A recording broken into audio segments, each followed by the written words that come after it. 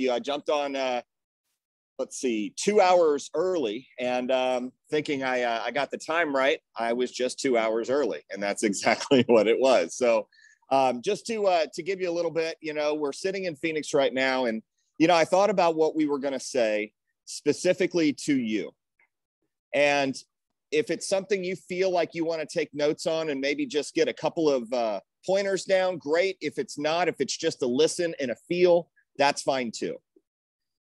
The first thing I'm going to start off with is what's your story? If somebody asked you, what's your story? Where are you at right now? And I would say that most of you would say that you're at the beginning of your story. Some of you would say, I just don't know. And what's interesting about every push and every day is it's new. And you have no idea what it's going to hold for you. You have no idea what it's going to uncover, what you're made of when things go wrong, when you get thrown curveballs, when demos reschedule, when they cancel, when you book more, when you get a $10,000 order, when you get a $2,000 order. You have no idea how it's going to look yet.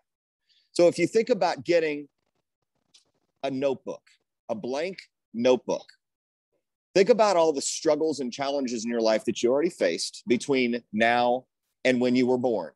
And you would be willing to bet that let's just say you pulled one out to when you were six, seven, ten years old. You thought it was the most major thing in your life that you couldn't find your toy, you couldn't play with your friend, you couldn't be out past curfew, you couldn't eat a certain thing, and you were upset with your parents because they wouldn't let you. You think about 15, 16 when you're about to get your license, go through this journey with me and, and hold tight with me because there's a, a big point to this at the end. You know, I thought when I was 15, I was hot stuff because I could actually get my license and drive somewhere. When I turned 16, I had the ultimate freedom and independence that I always wanted from my parents, my life. I was able to start then, right? It was that moment of completion when you pass your driving exam, when you get your license, you now have that ticket you know, when you think about your 21, and some of you I know might have an alcoholic beverage or two or an adult beverage or two, and you finally have that freedom to do it, and it doesn't become fun anymore because it was also that mystery and that mystique of when you were able to get away with things. Well, what does your story look like? What does your notebook look like? I'm at the airport right now, and there's a lot of people around. You know, they're going places, they're coming and going. They're they're they have things with them you know they have memories that they have in their life that we'll never know about and they also have experiences that they're looking forward to. And so the next few weeks of push however many days that is 10 12 14 i remember going through those pushes and i remember being really nervous. I remember being um, doubtful fearful that things weren't going to go because when you put yourself on the line and you put a goal down you write it down you tell somebody you now become publicly accountable to what you say you're going to do. And for those of you who are brand new, that's the scariest thing you'll ever do in life is tell somebody you're going to do something because now you have to live up to it, right? You've got to take the action that's needed to get to that number that you're looking for. Now, some of you have written down sales goals that are big because I've seen them coming through on the chat. I've seen the $10,000 goal and I've seen I have 40 demos. Does that get me there? The answer is nobody knows until you actually get there. It might take you 20, it might take you 60. So the number is not important. The action is important. The commitment to that number is important. And doing whatever you need to do when things go south and you have six demos set up and four of them come through and three of them are no sales and you go one for six. You're going to have those days. And you're also going to have other days when you go three for three and you want to call somebody to celebrate with them and tell them how great it went. That would usually be your manager. That would usually be your accountability buddy. So, who is your accountability buddy during this journey? What's great about it is if you sit down with them now, you're at ground zero and you can talk about your struggles and your challenges and your adversity that you hit. And you can also celebrate the wins. It's much more fun when you do this journey together. It's very lonely, and you're going to be on an island if you think you can do it yourself. You just can't. You need support. You need all of the people around you who support you. And that might not be your parents, that might not be your friends. Let me tell you what's going to happen with temptation. You're going to be right out of the gates and you're going to be itching to go first thing tomorrow morning, and things are going to not go according to plan. And your friends are going to be like, why don't you just blow that off and let's go out? Let's do our thing. You know, we've got a lot of summer ahead of us. We're doing everything that we want to, not everything that we have to. And those are the friends that are going to end up at the end of the summer with nothing to show for themselves. You're going to have to make tough decisions. You're going to have to say, you know what? Let's just wait until this pushes over, and then we'll go out and do something fun and celebrate when I do hit what I set out to hit. So, as your book fills up, your notebook, chapter one, here comes chapter one, right? It's going to be your first three days. And we've always seen this at the office level, division level, rep level, FSM level, CSP level. It doesn't matter what level you're at. I'm going to tell you that chapter one doesn't define chapter two unless you let it. So if you break this down into 10 chapters, what you're going to find is some of them are going to be more interesting than others, and some of them are going to be better, and some of them are going to be not so hot. So, what defines a champion? You know, I think about the stories that I remember that were defining moments in my life. And I think you can maybe remember one or two of those that are defining in yours. Well, this could be one of those moments. And somebody once told me you have three major opportunities in your life. It doesn't matter how old or how young you are in your lifetime. Granted, you're going to be on this earth for 70 to 75 years. You're going to have three major opportunities in your life. So, how many of those have you already had? This job might be one of them. This push might be one of them. I don't know. Well, somebody once asked me, How do you know which three opportunities when they come in your life? And the answer is you don't. You just keep jumping at every opportunity because you never know how it's going to be disguised. And so I would highly encourage you to look at this as a major opportunity in your life. This is a defining moment to where if you don't have a track record where you're normally used to pressure situations, other opportunities, things that don't go your way to really make a name for yourself, you know, I remember a lot of those push weeks where I remember 10, 20, 30, 40, $50,000 push weeks.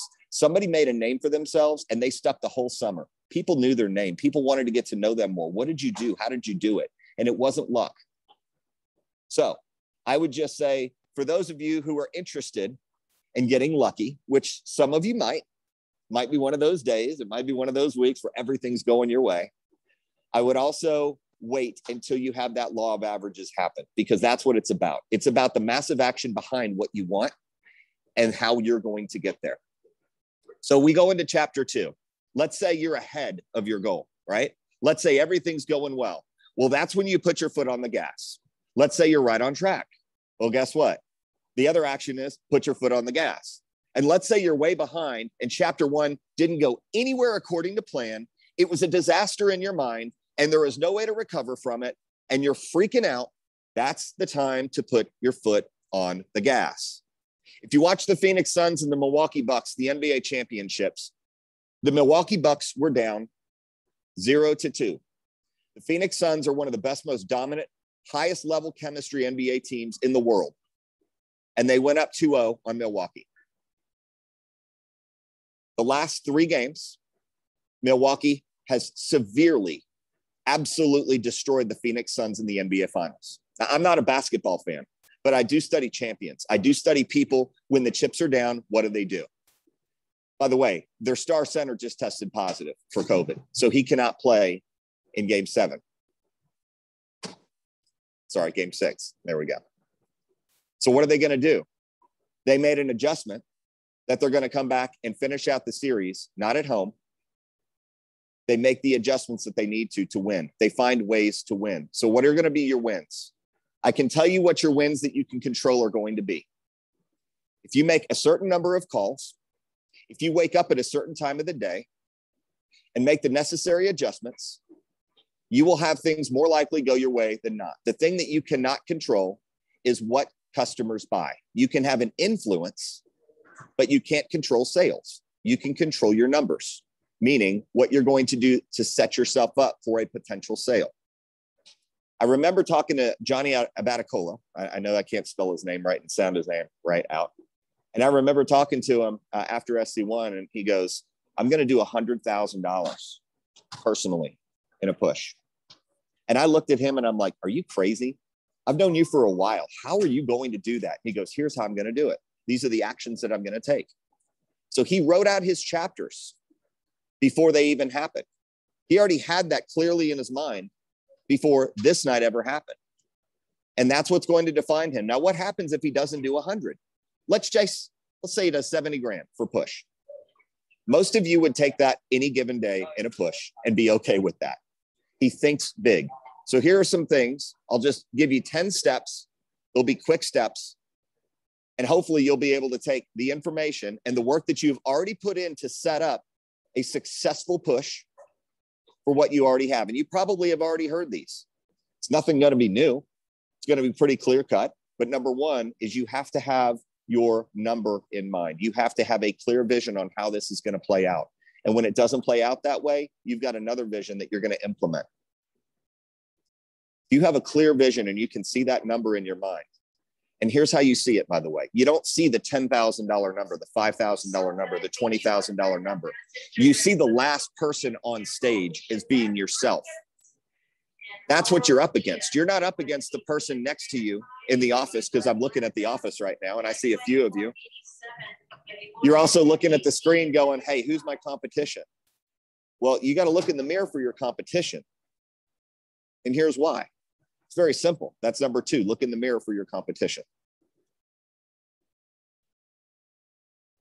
The reason why you need to be your own competition is because some of you have stretched beyond an imagination to already be where you're at. Some of you, you just don't feel like you're there yet. I remember when I had a my first $5,000 push as a rep. And I remember that wasn't good enough for number 1. Guess how many people can be number 1? And that hurts when you're not, right? If you have that goal in mind and you're like, but I did everything I could. Well, you know what? Sometimes the chip didn't fall the way that they needed to fall. Maybe you're fifth, maybe you're 10th, maybe you don't even place. You know what? It's going to be okay. The battle might have been lost, but the war can still be won. The summer is a long time. The push is a segment, right? It's a microcosm of the summer. SC2 is the biggest event that you'll ever have in a given Vector and Cutco year. So, are you going to rise to the challenge? Or are you going to let it pass by and watch others do it for you? Number three, who's your accountability buddy? You need to find your accountability buddy. As office managers, we always joked about the elusive $100,000 push. And Kathy will get a kick out of this because this is when we were doing like 50, 60, $70,000 in push. And we thought that was a good push as managers. Now reps are doing that. It's insane.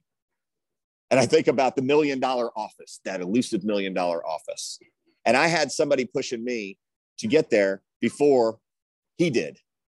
And I remember every single year we would talk about it, yet we still would fall short. And finally it happened, right? It took a while to do. It took us banging our head against the wall. The wall finally gave in. Yes, we were bloodied. Yes, we were battered. And yes, our accountability buddies got us there because they pushed us past our comfort zone. So, number four, be uncomfortable. Be uncomfortable. Growth happens when you're uncomfortable. I would just say that you should be comfortable with being uncomfortable. If people are telling you you shouldn't, couldn't, or can't, you're in the right place. If everybody around you is supporting you, get new friends and they say, oh, it's going to be okay. They can console you. You need people who will lift you to the next level. By the way, this is number five get a new tribe if you're the best in it. If you're a leader in your tribe, find another one. Because here's what's going to happen. We've heard it before. The sum of the five people that you hang around are going to equal you. And if you're hanging around equals, you will be just the same. If you are hanging around people that you're better than, well, you're probably going to take a step back. If you hang around ballers, guess what? You hang around millionaires, you might end up becoming a millionaire just by association because you see what they do. You pick up on their habits. You also like what they stand for. Now, this is the one thing I'll tell you before we get to step six. If you want to be a millionaire, don't hang out with millionaires, hang out with billionaires. Go to the next step, see the next level, hang around those people, find out what they do, pick their brains, ask the questions, be around them. You'll see that they wake up early, which is number six. I always get those a, a little ahead. Number six is to wake up early. Now, depending on what time you wake up now, I would just say this. If somebody tells me, and this, I, I heard this a lot from reps, and I didn't understand why they said what they said. They just said, I don't have time. Now, we talked about this at SC1. The people who told me they didn't have time, I told them they just chose not to make the time. They chose that action to not be a priority. Therefore, something was more important. So as I sit on the floor in this airport, we could have very easily said, my wife and I could have said, look, I don't have time. Plane's going to board. We need to get something to eat. We need to do this. No, you guys are more important. You guys are the priority. And the reason why is because you have a huge opportunity ahead of you. And to maximize every day means getting up two hours earlier than you're getting up now. I guarantee your body doesn't need that two hours extra of sleep for a short period of time. You would be surprised to know that most of us function on six hours of sleep. We go to bed at midnight. You're laughing. It's not because we have kids either. We go to bed at midnight. We wake up at 6 a.m. Why? Because our health is important to us. We go to the gym. Our nutrition is important to us. We make our food instead of eating out. By the way, our sleep is important to us we maximize our sleep. We want to be tired when we go to bed. We don't need to be refreshed. We don't need to be woken up and lay right up in the bed looking at our ceiling, wondering what we're going to do tomorrow. I want to go to bed tired so I can be refreshed and tackle the day and attack the next one. Number seven, eat for fuel. If you're eating heavy food, your mental and your physical clarity and energy will be off. And I'll just say this eat for fuel. Sugar can mess with you, caffeine can be a helper, just not too much. Eat light, eat clean, eat vegetables, eat fruits. You do these little things, all of a sudden, your mind is very clear about where it wants to go, and your actions will follow. Number eight, this is going to be fun embrace the suck. I'll repeat that because I don't know how uh, everyone around me is uh, thinking about what I just said. Somebody looked at me funny. Embrace the suck. When things suck, that's when you need to smile. When you're discouraged, when you're defeated, when you're pissed off, sorry about the language. When you're just upset because nothing's going your way and you feel like the victim, guess what? Embrace it and give it five seconds. Always have that five second rule. If you ever know Tony Robbins, we've been to six UPWs. He said, How fast can you change your state? Just like that. How fast can you change your state? Just like that. If something's not going your way, you find a way to make it. Take the action. Somebody reschedules, that means you call three more and book three more or two more or whatever that number is, right? Somebody stands you up, you go next door. Somebody virtually stands you up, you find somebody else to call. Find somebody who has that next sale for you. You know, Grant Cardone, he's a very successful real estate mogul and he's worth a couple hundred million dollars. We had a conversation. He was someone who was very into fitness. And so we talked for a little bit about that. And he goes, How did you become a professional athlete? He goes, I want to know. He goes, I'm 63 years old. He goes, I feel like I'm in the best shape of my life. And when I was in my 20s, I abused my body. I didn't care about tomorrow. I just lived for today. He goes, I was broke at 40. I owed people money. It was not a good situation, and things started to go downhill. Well, he made a decision in his 50s to become a millionaire. He made a decision in his 60s to become a nine figure net worth individual. It's never too late. Embrace the suck. Not everything's going to be easy. How is chapter five going to look for you? How is chapter seven going to be so much better than chapter five? So when we get to chapter eight, now it's really starting to get good. This is number nine. Enjoy the pressure. Enjoy the pressure. I watched uh, the Open. For those of you who uh, don't watch golf, I don't either, but I watched it. And the reason why is because on Sundays, I like to see in the final round who is going to step up to the pressure. There's a young gentleman. He's out of Japan by way of the United States and won a major in his first four um, tournaments. And the Open is one of the biggest, most long-standing. It's 149 years running. And he was two strokes up. He hits the ball into the very tall rough, and it was a pressure clutch shot, which he had to make and very easily could have gone the other direction and lost the entire tournament based on one simple mistake. He very casually went about it the same way that he goes about every shot with his caddy. He has his routine. And he decided to step into the moment instead of fold. And he had the choice to make. And that was going to go probably three to four strokes back if he didn't strike the ball right and take the approach that he took. But he did. Watch champions on how they work, watch what they do.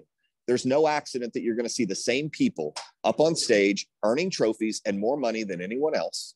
It's because that they didn't have magic leads.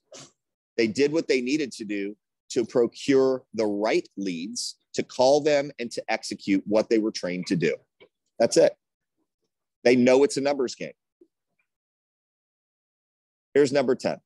I like this because this is a mindset thing. And this is what I was wrapped up with. I ended up training anywhere between 20 to 30,000 college students. And I remember in 20 years being able to say this one thing because Henry Ford said it. And, you know, when you wrapped up your training, I think this is still in there. Kathy, maybe you can tell me. I don't know. But when Henry Ford said, if you think you can or you think you can't, you're right either way. If you think you can or you think you can't, you're right either way. We always talk about the little engine that could, right? I think I can. I think I can. I, if you ever uh, read, read that book when you were little, um, I also think about this. I think about mindset matters and how your mental health is. And so, number 10 is hit the reset button.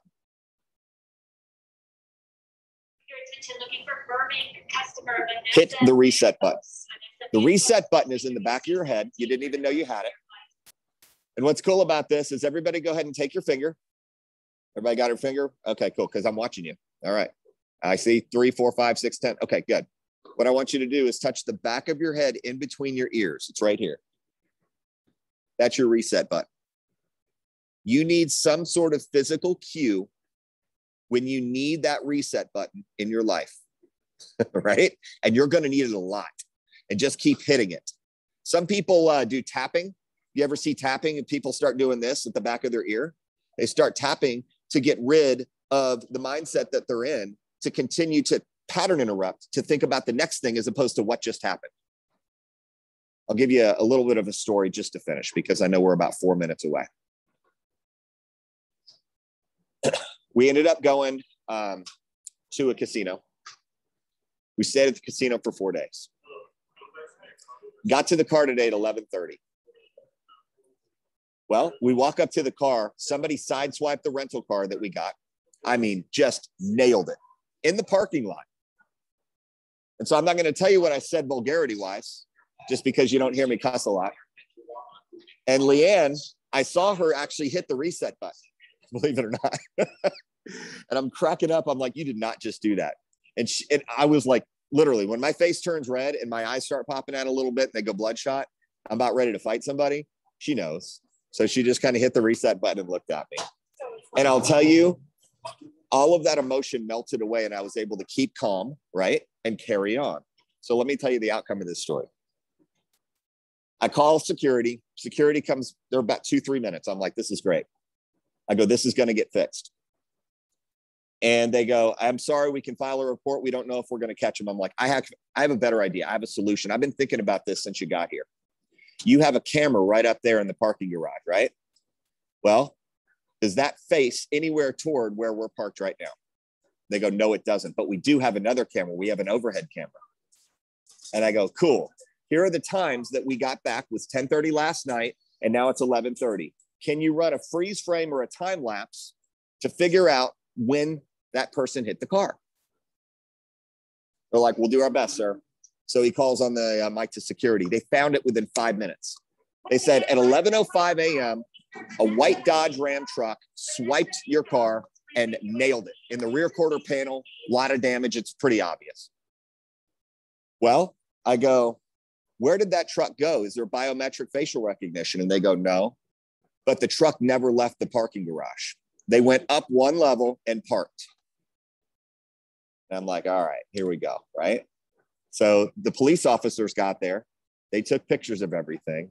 And I will tell you, that without the resolve and that little reset button, and the guy was in the casino, by the way, too, with his wife, and he admitted to driving and his insurance covered everything. That would have been a four or five thousand dollar mistake because I declined the coverage. My, my insurance might have covered it. The reason why I tell you that story is if you don't hit the reset button, a lot of the times your brain is going to be so amplified and so not easy to think of solutions that the solutions to any challenges are within your mind. They are not anywhere else unless you actually need support. You would be amazed at how your mind will work to find a way to your goal if you continue to keep it in front of you and hit the reset button when panic strikes, when fear strikes, when doubt strikes, when hesitation hits. It's going to happen. You're going to be let down. Embrace the suck. Back to number eight. So remember where your reset button is. Very looking forward to the challenge, ladies and gentlemen. And I really appreciate y'all's time.